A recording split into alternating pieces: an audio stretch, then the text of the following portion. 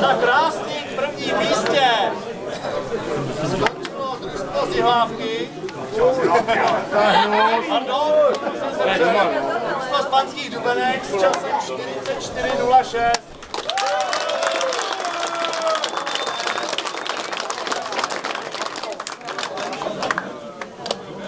Nyní zábava. Ta jezde. Yeah,